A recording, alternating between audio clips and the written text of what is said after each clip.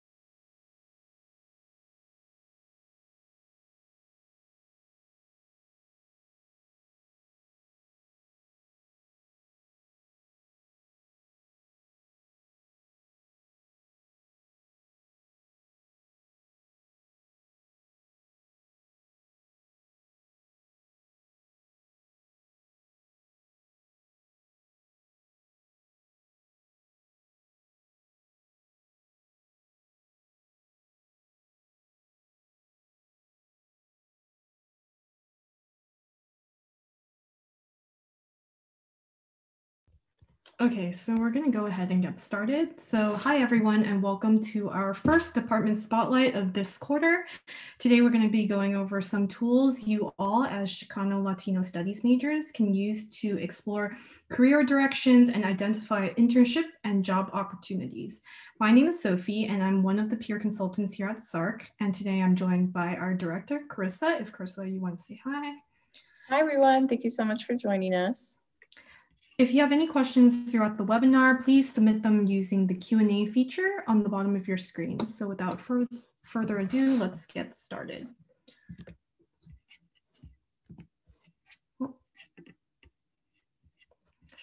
So first off, we're going to be looking at two career exploration tools, the Occupation Outlook Handbook and focus to career. So the difference between the two is that focus to career is kind of personalized.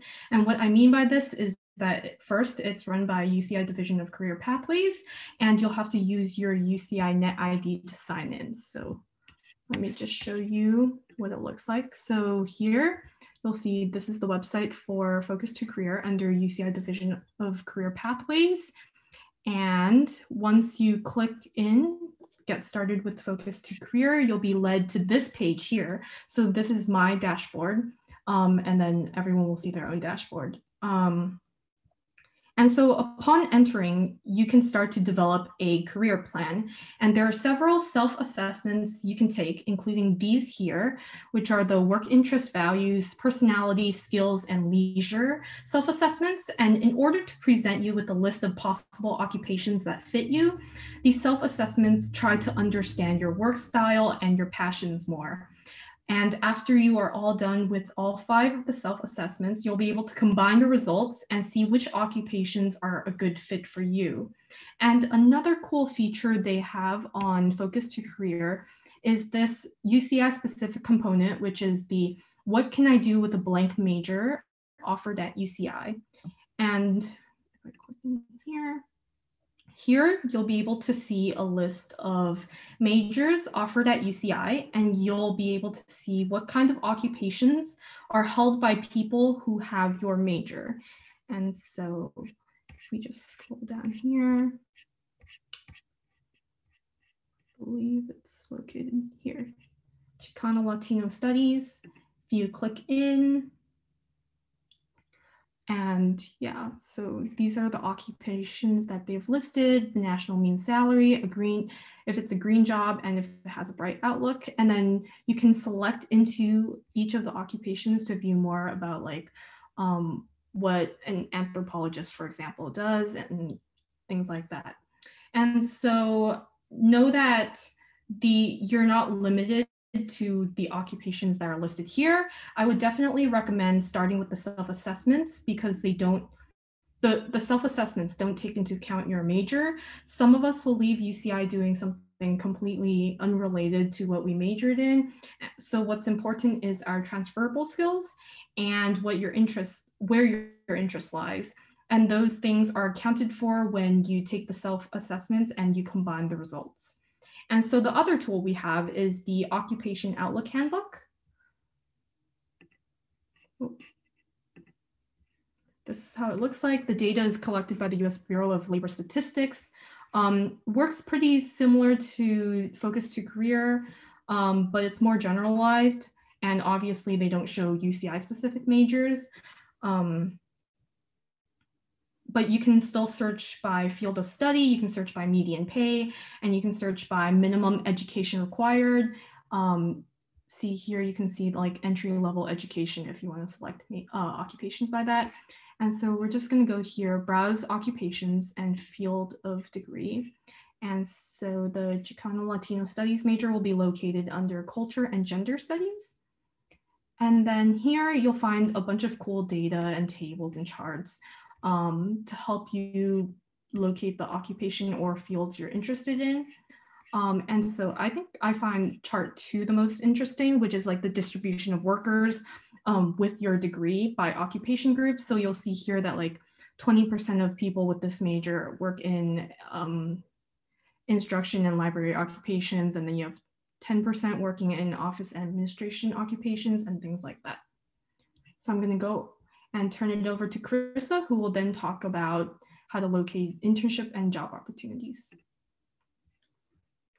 Thank you so much, Sophie. All right, I'm gonna go ahead and also share my screen. Okay, so, you know, being majoring in Chicano Latino studies, you have a lot of opportunities to search for a wide variety of different jobs, as Sophie kind of pointed out. So you're certainly not limited. You can certainly go into healthcare, for example, or you can go into education um, or something completely different. So I do want to emphasize that your major does not define your career path. Okay, so typically when you're searching for job postings, it's not going to say you need to be a sociology major. You need to be a Chicano Latino studies major. They're just going to say bachelor's required. However, in the transferable skills or in the responsibilities and skills required, that's where they're going to put more specific detailed information that will um, help you realize if you're a match for the position or not, okay? So there are a few different internship job exploration tools that are available um, on campus at UCI or through the SARC um, or other resources on campus. So um, many of you might have a LinkedIn, so I'm gonna briefly just talk about that. Um, LinkedIn is, is pretty much kind of like a social network, but for more um, for, for um, actual professionals, so kind of like a Facebook. Um, and it's definitely a great resource to be able to connect with other professionals in positions that you might be interested in, or people that work at certain companies or organizations or nonprofit agencies that you would like to work at one day. And so it's very common um, for students to just like simply message and just approach a professional and ask, you know, hey, can I have a informational uh, interview with you just to get to know what you do, um, if you like it, what are some of the challenges in your roles. And so this is a really great resource to utilize LinkedIn in that way. Um, so if you haven't jumped on LinkedIn yet, I definitely encourage you to do so because um, it could be a really great opportunity um, to search for various opportunities. LinkedIn also posts various internship and um, position job postings as well. You can even get like daily emails about all the new postings that have come up. There's also a really neat function on LinkedIn. Um, so let's say you're following UC Irvine on LinkedIn, you can actually take a look at who has graduated from UC Irvine and what industries are they working at, as well as what companies are they working at. And so um, this is a really great tool that you can also use. If we have some time, if you're interested and um, for me to talk a little bit further about that, I'm happy to do so. Just feel free to put that in the chat or Q&A. Um, another really great resource is Handshake. So many of you probably are very familiar with Handshake. Um, this is the Division of Career Pathways platform um, to advertise various full-time, part-time internship positions. And so this is probably the number one resource available to you on campus to find um, internships or careers once you're at that point in time. Um, one of the things that we definitely encourage you to do is just look at some of those position descriptions. Um, see what specifically they're looking at. If you don't feel like you're quite qualified enough, then reflect upon what are some of those experiences that you're still needing a little bit more um, to be able to be eligible for those types of position. Um, and also note that all the employers on Handshake, they're specifically looking for UCI students. And so it's just a great way to be able to connect with employers um, that way and to be able to apply to those types of positions. Um, the next thing is the Anteater Network. So um, I know that for some students, they may have not have heard of this, um, I suppose, platform that UCI has. It probably came about maybe three years ago. Um, so it's somewhat fairly new. Um, but the Anteater Network is an opportunity to engage with UCI alumni who are actually looking to be mentors to UCI students. And so if you're not on the Anteater Network yet, um, definitely encourage you to create yourself a profile. I think right now with the Anteater Network, they're really trying to also put um, postings on there for internships and positions as well. So it's another great opportunity to just reach out to a professional and ask them about their own personal and professional trajectory too, because um, they're actively looking to help students. And so that's also a really great way. And um, so that all kind of goes under networking, which is a very important aspect of finding that internship or that career that you are interested in. Um, and perhaps you might come across alumni who did receive their bachelor's in Chicano Latino studies. Um, the next set of um, platforms that I want to discuss are a couple internship databases. Um, so first is our SARC internship database. I'll go ahead and show you that in just a couple seconds. Um, but at SARC, we actually collect uh, quite a bit of information about internships um, available to UCI students that actually are not necessarily posted on Handshake. Um, and so if you, um, you know, as a social science student, you can actually get credit for your internships through a course called Social Sciences 197. If you have any questions about that, please let me know and I could talk about that further. Um, the next website that I'm going to talk is actually on the Department of Chicano Latino Studies. They have a pretty good webpage about various internships in Washington, D.C. that you may be interested in. So I'm going to go ahead and um, share my screen with a couple of those items. So bear with me as I change my screens here. And then again, if you have any questions, please feel free to put them in the chat.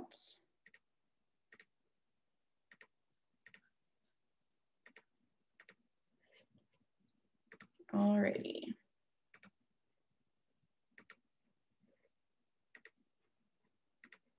Okay, so the first one is going to be the internship database. So um, this is our website, sarc.soci.uci.edu. And we got lots of different goodies on here, um, but I'm going to point out our internships tab. And then we have our internship database, and this is where it's going to leave you. Um, we currently have uh, a few active remote internships. So these are organizations that are currently looking for students to work remotely. These are some past internships that other students have done um, in person. Not to say that they're not offering remote internships, they might be, um, but this is also just a really great resource. And uh, we kind of separate it into different categories um, so more like accounting or HR or law and legal, psycholo um, psychology or mental health. Um, many of you might be going in there. Family, child, or social services um, is also probably a very popular one or government too. So that is the um, internship database. Um, the next thing that I'm gonna go ahead and show is actually the Anteater network. And let's see here. Okay, I'm not going to go too into this, but this is what the Anteater um, network page looks like. So it's just antnet.uci.edu. You go ahead and join the network and then you can create yourself a profile. Um, but they go step by step. If you go under students, um, you'll be able to see like a step-by-step -step process of like how to actually create your own profile as well. Okay, and then the last one that I'm going to show you is the Chicano Latino Studies website. Um, so if you go under uh, Chicano Latino Studies at uci.edu, and then under, I believe it's undergraduate, um, actually, no, it's under resources, and then internship opportunities. Um, they went ahead and crafted a few um, opportunities in Washington, D.C. that um, you might be interested in as a Chicano Latino Studies major. And so definitely encourage you to look through um, some of these internships. Um, Sophie in a little bit is gonna talk a little bit about UCDC on campus and how that could also be very relevant um, in attaining some of these internship opportunities as well. All right, I'm gonna go ahead and pass it to Sophie. Thanks, Carissa. Okay, let's see. So finally, the two other tools we're going to be talking about is um, the UCI Study Abroad Center um, website and UCDC and UC Center Sacramento, also known as UCCS for short. Um, and these are all opportunities offered here at UCI that can give you a sense of what you want to do in the future. And so I'm going to start by talking about UCDC and UCCS first. Um, these are academic internship programs, one in Washington, D.C., and one uh, in Sacramento. And you can take classes and complete an internship program simultaneously. I believe first you have to apply to the program, and then they give you, um, and then you'll get access to a list of internships that usually hire um, UCDC and UCCS students. Um, there are internships in business, education, environmental policy, and law. And I believe there are some information sessions that are coming up, and their deadline for fall 2021 um, is for UCDC, it's April 5th, and for UCCS, it's May 20th. Um, Carissa, is there anything else I'm missing for UCDC? Any information? No, I mean, at this point in time, um, of course, the, the, ability to be in person or remote, it's still kind of up in the air. So just kind of keep that in mind as you continue to apply for these opportunities. Okay, and then lastly, we have the UCI Study Abroad Center. Um, I know for a lot of students, study abroad um, you're wondering like, where should I go? What can I do there? And how can I fit that into my three year or four year plan? Um, on the UCI Study Abroad Center website, you'll be able to find this page dedicated to Chicano Latino Studies majors. Um, and you'll be able to see different strategies for studying abroad and graduating on time. And then they also have suggested programs.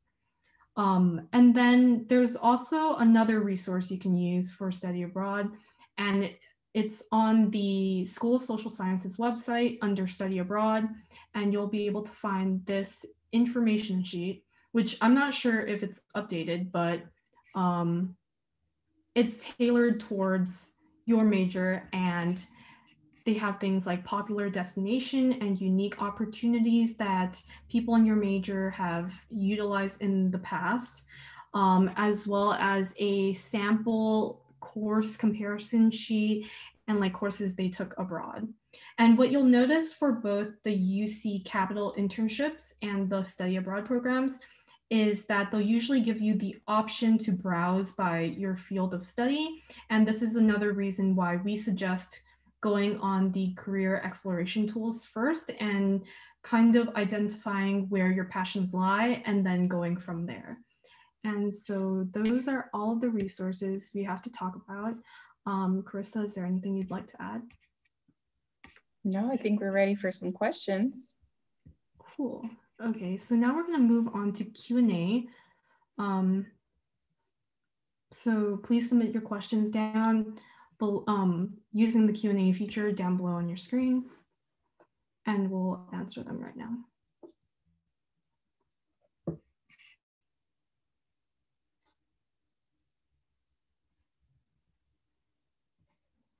And if there's any specific resources you'd like us to go a little bit further into in terms of the details, we'd be happy to do so as well.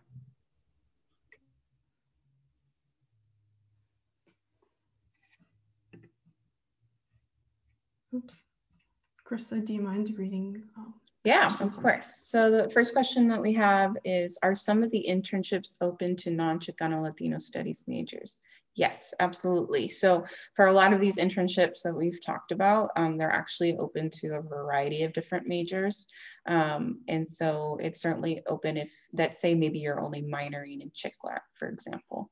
Um, and you're something else, majoring in something else. Um, so yes, a lot of these are very much open um, to a variety of different majors. And then we got another question that is, can you go over the social science internship course one more time? Absolutely.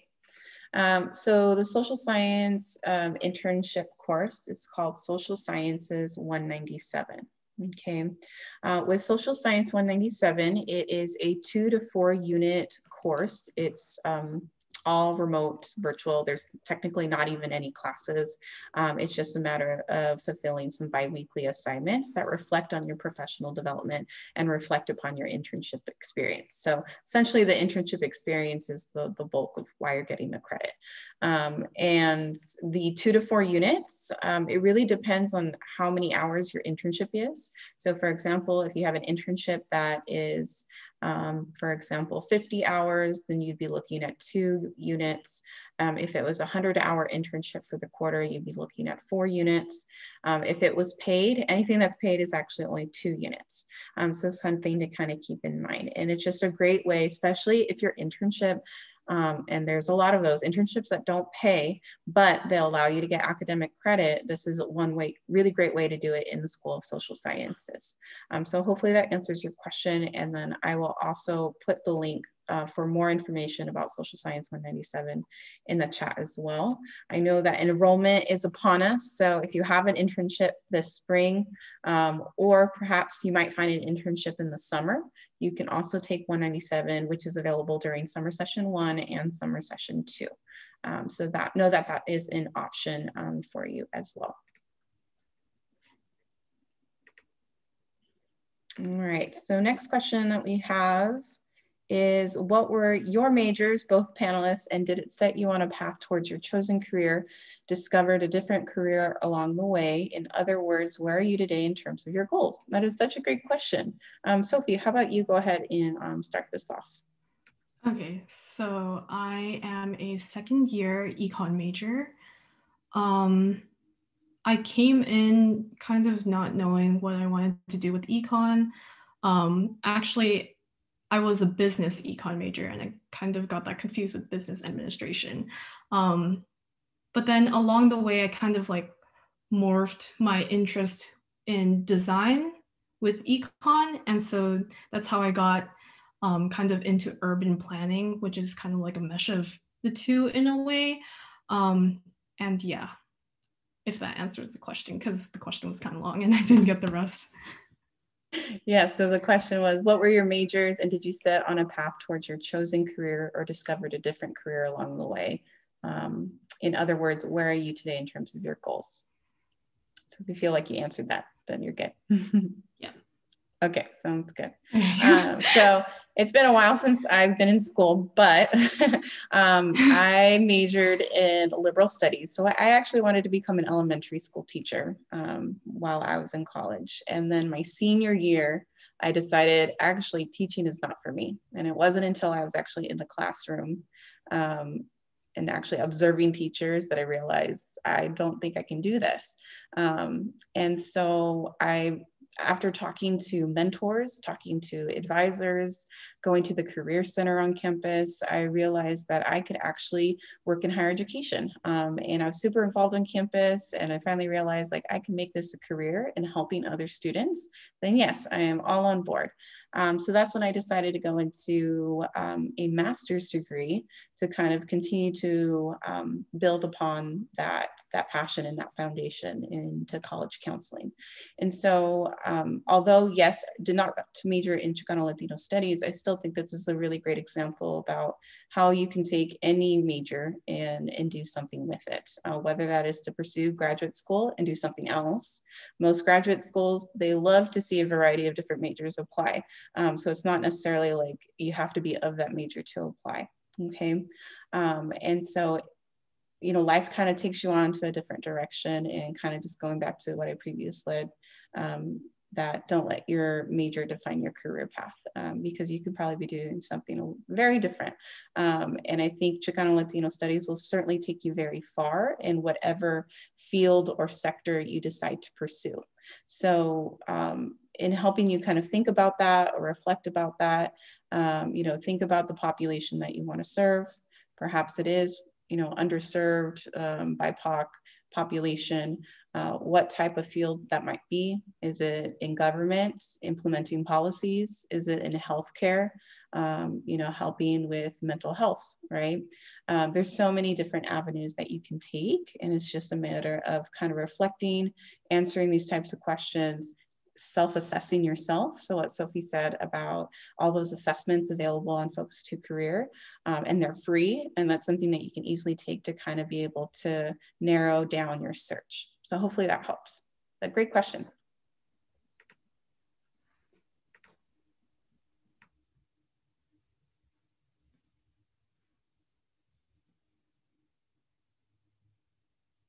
Okay, looks like we got some more questions in.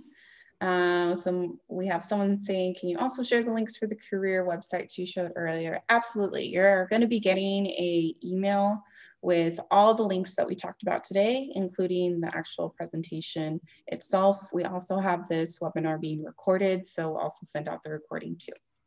Um, another question we got is, how do I know if it is for me? And should one go to grad school just for the sake of it or with a purpose in mind? It's a great question. Um, so in terms of grad school, um, in terms of like pursuing grad school, you definitely don't want to go just for the sake of not knowing what else to do. You have to have a purpose in doing that. Um, the admissions committee is not going to really care for your essays or your personal statements if you're just like, well, you know, I have nothing else to do. I'm just going to go to grad school. Um, you should have a, a purpose and, in a you know, a reason for going to graduate school, if that's to just advance your education, to get a better understanding, foundational knowledge, and just to be more competitive in the job market as well. Um, I think it's becoming more common that students do have master's degrees. Um, of course, you know, you also have to think about whether the master's degree is right for you. So one of the ways that you can do this is by using the resources that we actually shared with you. So one of them was Occupational Outlook Handbook, and it'll actually state what's the type of education that you need in order to do that specific career path that you're interested in. So often it, it'll say you need to pursue these types of master's degrees or PhD degrees, or you need to get these specific licenses. There are various career paths where a master's degree is not required. You can easily get a position like that with a bachelor's degree, for example. So that's kind of one way to really figure out whether like you do need an education um, a higher education than a bachelor's degree just based on your career. Um, but here at SARC, we always encourage students to go on a graduate school and to continue and further your education. Um, that doesn't have to be now. Um, you can spend, you know, a gap year trying to figure that out. Maybe it's five years and students still come back and decide to go to graduate school. So don't feel pressured to have to do it right after UCI. You can take your time with it, get a better understanding of what you really want to do um, if you're prepared to go to graduate school, because it is certainly a commitment. So not only a commitment to yourself, but it's a commitment to your other family members, right? Maybe you have a partner, maybe you're trying to think about your future. Um, it is also a commitment financially as well. So most master's programs are not funded. Um, you do kind of have to pay out of pocket, get out loans. Unfortunately, most PhD students are fully funded. So um, these are just some questions to kind of ask yourself. We also have a really great graduate school timeline that is also very helpful and it has some additional reflection questions that you can kind of ask yourself if this is the right path for you. Um, so we can certainly share that within a follow-up email and, and probably in the chat too. But great question. And I know that we're almost out of time. So if there's any other questions, feel free to submit or else we'll go ahead and end our time together.